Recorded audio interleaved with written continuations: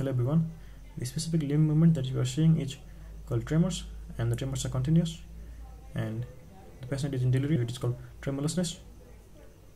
And the patient had a history of two years of alcohol abuse and the last alcohol intake was in some 36 hours back and the patient has other symptoms like altered speech and anorexia since one day. And there was also a history of seizure that occurred two to three times a day on examination, her vitals were stable, but she had pallor, icterus, and edema. On systemic examination, her liver was, was enlarged and she had distended abdomen.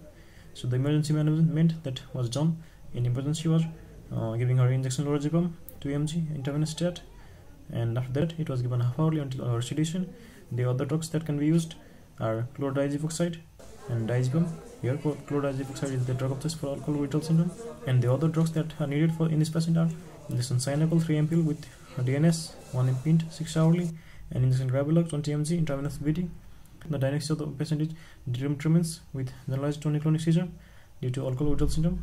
Here, GTCS is not shown in this video. Thank you for watching this video guys. Subscribe for more